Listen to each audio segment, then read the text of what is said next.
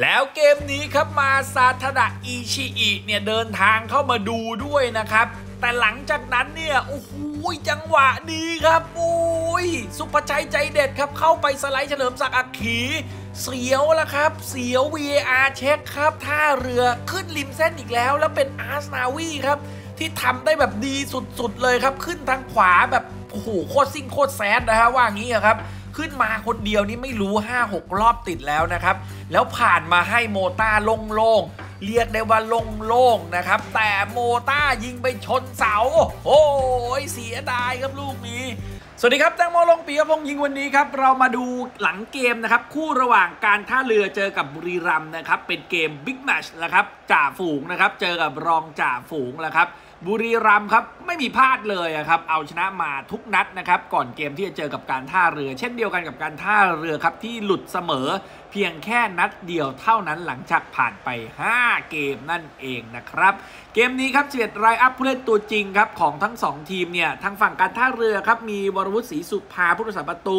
สุพนันไอแซคฮอนนี่เฉลิมศักดิ์อักขี แล้วก็มีอาร์สนาวีอยู่ขวาเควินอยู่ซ้าย แล้วก็โนบุรุชิมูระตรงกลางประถมพลพีระดลนะครับแล้วก็ข้างหน้าเป็นโมต้า กับบดินอยู่ริมเส้นนั่นเองนะครับ ขณะที่บุรีรัมย์ยูไนเต็ดนะครับมีนีลเอเธอริดจ์ครับมีคิมมินฮยอกดูกัลล์พรรษานะครับและตรงกลางก็เป็นดิออนคูลส์พิธิวัตต์ธีราทรทามินาสมันก็หมุนกันได้นะครับ แล้วก็คริสปิม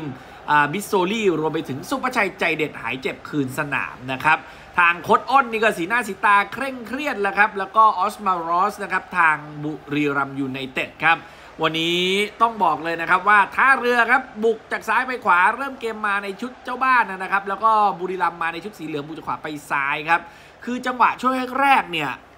โอ้โหต้องบอกว่าท่าเรือเปิดเกมมาได้ดี ต่อบอลได้ดี ครองเกมได้ดีนะครับ แล้วก็สร้างสรรค์โอกาสได้ดีกว่าบุรีรัมย์เลยนะ แทบจะบอกว่า เฮ้ย วันนี้ท่าเรือเนี่ยเปิดเกมมาครองเกมก่อนอย่างเห็นได้ชัดเลยนะครับ รูปแบบในการ set up บอลและที่สำคัญแทงทะลุช่องออกทางด้านขวาให้กับอาร์สนาวีเนี่ย ช่วงประมาณสัก 20 นาทีแรกเนี่ยมี 3-4 ทีอยู่เหมือนกันนะ แทงให้อาร์สนาวีนะครับ หรือว่าบอลตบเข้ามาตรงกลางเปลี่ยน switch play เนี่ย ถือว่ามีให้เห็นมีให้เห็นนะครับ แต่อาจจะยังไม่เนียนตา 100%เพราะว่าพอแทงทะลุไปแล้วเนี่ยอาร์สนาวีเปิดยังไม่ค่อยดีเท่าไหร่ เปิดเข้าให้นีลเอเธอริดจ์เนี่ยรับสบายนะครับ แล้วก็มีนาทีที่ 7 เนี่ยครับ ต้องชมเลยนะบดินผาลาช่วงหลังๆ มาเนี่ยอาจจะไม่ได้ไปติดทีมชาตินะครับ เพราะว่าเนื่องจากมีการปรับเปลี่ยนนะครับในการเรียกตัวทีมชาติในช่วงนี้นะฮะ แต่บดินผาลาโชว์ฟอร์มร้อนแรงสุดๆ เลี้ยงออกนอกตัดเข้าใน แล้วมียิงครับนาทีที่ 7 เนี่ยหน้าได้ด้วยนะ ผมบอกได้เลยว่าหน้าที่จะได้แต่ว่าสุดท้ายจังหวะนี้เนี่ยมันไม่ได้ครับถูกปัดออกไปนั่นเองนะครับ เป็นนิวเอเทอริตซองแตกนะครับ ถือว่าทำได้ดีเลยแหวกดีนะ ช่วงนี้แกสร้างสรรค์ผลงานส่วนตัวได้ยอดเยี่ยมนะครับ นาทีที่ 12 ครับ อันเนี้ยน่าได้ของจริงครับ การท่าเรือนะครับทางด้านของการท่าเรือเนี่ยเปิดเข้ามาจากเควินทางด้านซ้ายนะครับ เปิดมาเสร็จแล้วเนี่ยบอลมันก็ข้ามมาหมดเลย แล้วตรงนั้นเนี่ยบุรีรัมมาร์กตัวไม่ดี น่าจะเป็นพันษาหรือเปล่าทาบินาที่อยู่ตรงนั้นนะครับ แล้วเนี่ยไปปล่อยนะครับ ปล่อยแบบนี้ไม่ได้นะครับ คือถ้าปล่อยแบบนี้นี่เสร็จเลยนะครับ คือปล่อยแบบนี้เนี่ยปฐมพลเข้ามาชาร์จจ่อๆดีครับว่าความคมเนี่ยมันไม่มากพอ ถ้าคมมากพอลูกนี้ใส่สกอร์รอได้เลยนะครับ แต่ว่าการท่าเรือก็พลาดโอกาสทองไปแบบชนิดที่ว่าไม่ควรพลาดในจังหวะนี้นะครับ จากปฐมพลก็ยิงข้ามคานออกไป แล้วก็นาทีที่ 23 ครับเนี่ยมาอีกแล้วอาร์สนาวีนะครับ แล้วแนวรับบุรีรัมก็มีแผลให้เจาะนะครับเนี่ยผ่านมาให้กับเควิดีรมรำครับ ถือว่าใช้ประโยชน์จากอาร์สนาวีได้ดีครับ ผ่านมาให้แล้วเควิดีรมรำไปเร่งยิงเกินไป เร่งยิงเกินไปแบบบดบดบอลมันก็ออกข้างไปแบบหมดลุ้นจริง ๆ นะครับ ก็ไม่ได้รุนเท่าไหร่ในจังหวะนี้ แล้วก็มีโอกาสเกือบโดนครับตรงนี้ครับ โอ้โหทางพีระดนชัมรัศมี ลูกนี้ไปคิดอะไรอยู่ครับ แล้วโดนบิสโซลี่ตัดบอลได้บิสโซลี่ตัดบอลได้ฉกได้แอบยิงไกลครับ โอ้ร่วมร่วม40 กว่าหลาเนี่ยครับยิงมาเปี้ยงดีไม่ตรงกรอบนะครับ อย่างนั้นงานงอกวรวุฒิศรีสุภาเลยครับ บอกได้เลยว่า โอ้โอ้แต่ว่าไม่ตรงกรอบถ้าตรงเรียบร้อยเสร็จแน่นอน โชคดีจริง ๆ นะครับสำหรับการท่าเรือแล้วก็พีระดนที่ไม่ต้องรับเคาะในจังหวะนี้ไปนะครับขณะเดียวกันครับเกมของอท่าเรือเปลี่ยนไปเลยนะครับ หลังจากที่ชิมุระ เจ็บสไลด์แล้วเหมือนเจ็บกระตุกขึ้นมาซะอย่างนั้นนะฮะก็เอามือเนี่ยกลุ่มที่ ต้นขาไปพอกลุ่มต้นขาเสร็จรู้และขอเปลี่ยนตัวออกเลยนะครับ ซึ่งทำให้เป็นโอกาสของวรชิตกนิษฐ์สิงห์บำเพ็ญที่จะต้องลงมาเล่นแทน แต่คนนี้แหละคือคีย์สำคัญที่ทำให้แผงมิดฟิลด์ของการท่าเรือสู้บุรีรัมย์ได้ แล้วก็กดทางด้านของบุรีรัมย์เอาไว้อยู่ในช่วงครึ่งชั่วโมงแรก แต่พอเปลี่ยนมาเนี่ยนะครับเป็นวรชิตลงมาต้องยอมรับจริงๆ ว่าเกมมันหายไปนิดหนึ่งนะตรงกลางกลายมาเป็นบุรีรัมย์ช่วง 15 นาทีสุดท้ายของครึ่งแรกได้บุกบุกบุกบุกแบบนี้ครับ โอ้โห เกือบตาย บอกได้เลยว่าทางการท่าเรือเกือบตายนะครับ โดนโจมตีอย่างต่อเนื่องนั่นเองนะครับ แล้วก็จบครึ่งแรกด้วยสกอร์นี้ แต่ว่าถ้ามาดูสแตทนะครับ หรือสถิติเนี่ยท่าเรือของบอล 51.1%แล้วก็บุรีรัมย์ครับ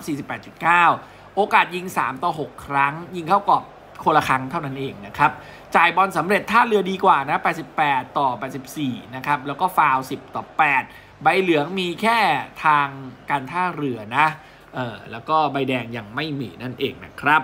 ช่วงครึ่งหลังเนี่ยกลับมาเล่นกันต่อนะครับ มีสายฝนโปรยปลายมาพอสมควรนะครับ ก็ตกลงมาแต่คิดว่าอย่าหนักแล้วกันนะครับ เพราะว่าบางพื้นที่บ้านเราตอนนี้ก็เริ่มตกหนักนะ แต่ว่าที่แพสเตเดียมยังตกแค่ประมาณหนึ่งยังไม่หนักมาก แล้วก็เริ่มมานาทีที่ 46 ครับ อย่างที่บอกว่าขึ้น ทางด้านริมเส้นดีมากบอลของการท่าเรือครับ จังหวะนี้เนี่ยได้เปิดเข้ามาจากทางขวาอีกแล้ว แล้วบอลมาถึงวรชิตกนิษฐีบำเพ็ญได้ยิงครับลูกนี้วรชิตทำได้สวยเลยพลิกตัวหมุนกลับมายิงทางทางที่มีกองหลังยืนอยู่ 4 คนตรงนั้น แต่ยังพลิกหลอกแล้วยิงได้ แต่ว่าบอลมันไปตรงตัวผู้รักษาประตูนิวเอเทริชนะครับก็ยังไม่มีอะไรครับ แต่ว่าถือว่ามีลางดีและสำหรับการท่าเรือเริ่มต้นมาครับ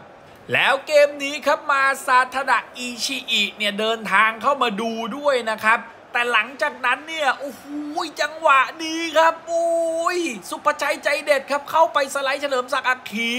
เสียวแล้วครับ เสียว VAR เช็คครับ เพราะว่ามีการเหมือนกับว่าหงายเท้าเข้าไปด้วยนะครับหงายปุ่มเข้าไปเนี่ยครับแล้วบอลเนี่ย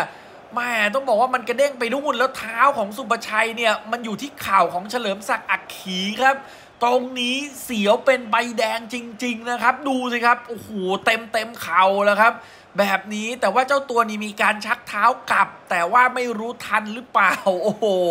แต่สุดท้ายใบเหลืองครับใบเหลืองทุกท่านคิดเห็นอย่างไรจังหวะนี้ บอกได้เลยครับว่าสุ่มเสี่ยงใจคอไม่ดีนะฮะหลังจากนั้นครับท่าเรือขึ้นริมเส้นอีกแล้ว แล้วเป็นอาร์สนาวีครับที่ทำได้แบบดีสุดๆเลยครับ ขึ้นทางขวาแบบ อ้โหโคตรซิ่งโคตรแซดนะฮะว่างี้ครับ ขึ้นมาคนเดียวนี่ไม่รู้ 5-6 รอบติดแล้วนะครับ แล้วผ่านมาให้โมต้าโล่งๆ เรียกได้ว่าโล่งๆนะครับ แต่โมต้ายิงไปชนเสา โอ้ยเสียดายครับลูกนี้ ถ้าเข้าไปก็มันจบเรื่องแล้วไปชนเสาลูกนี้นีลเอเธอริดจ์หมดสิทธิ์เซฟอยู่แล้วนะครับแต่ว่าโมต้าเนี่ยยิง แม่มันไม่ดีพอมันดีแต่มันไม่ดีพอ ชนเสาแล้วก็ซ้ำไม่ได้ เจ้าตัวยังเสียดายเลยครับ เอามือป้องปากแล้วบอกว่า โอ้ยทำไมไม่เข้านะ เออนะฮะเสียดายจริง ๆ ครับในจังหวะนี้ครับยังศูนย์ศูนย์อยู่ครับและนาทีที่ 68 เอาอีกแล้วครับ แบ็กซ้ายของบุรีรัมเริ่มมีปัญหาครับ โดนเจาะบ่อยมากครับ เป็นทางด้านของปฐมพลขึ้นมาครับ ขวาผ่านตลอดปาดเข้ามาตรงกลางแล้ว โอ้โห ลูกนี้บอกได้เลยครับ ใครเห็นก็ร้องนะฮะ ลูกนี้มันต้องเข้า โอ้ยจอมากเลยนะครับบดินทร์ผาลาทำได้ดีแล้วด้วย ยิงตรงกรอบจะให้ตุงตาข่ายแต่นีลเอเธอริดจ์ครับ โอ้โห เหนือฟ้ายังมีฟ้านะครับ โอ้ลูกนี้พุ่งเซฟไว้ได้เฉยครับ โอ้โห มาทันได้ยังไงครับ จากฝั่งนู้นมาฝั่งนี้ โอ้โห แต่ถ้าบดินทร์ยิงเรียดๆหน่อย ก็จะเพิ่มงานให้กับนีลเอเธอริดจ์แต่ว่าลูกนี้เนี่ยก็ต้องบอกเลยครับว่า super save ของผู้รักษาประตูจริง ๆ นะครับ อะและเกมนี้เนี่ยจบเกมนะครับเป็นอันว่าบุรีรัมย์กับการท่าเรือครับ เล่นกันมันเล่นกันสนุก แต่ดันไม่มีสกอร์ซะอย่างนั้น จบเกมเสมอกันไปนะครับศูนย์ศูนย์แบ่งไปทีมละ 1 คะแนนนั่นเองนะครับ ถ้าหากว่าชื่นชอบ อย่าลืมติดตามกันได้ครับ โดยการกดไลค์กดแชร์กด Subscribe กดกระดิ่งแจ้งเตือนจะได้ไม่พลาดคลิปความเคลื่อนไหววันนี้ลาไปก่อนสวัสดีครับ แตงโมขายบ้านทาวน์พลัสเกษตรนวมินทร์3ชั้น 3 ห้องนอน 3 ห้องน้ำ 2 ที่จอดรถ แอร์ และ built-in เฟอร์นิเจอร์ฟรีทั้งหลังแถมฟรีโซลาร์เซลล์ประหยัดไฟ 40-50%ต่อเดือนสนใจติดต่อ at tm score โทร 0959455635 ครับ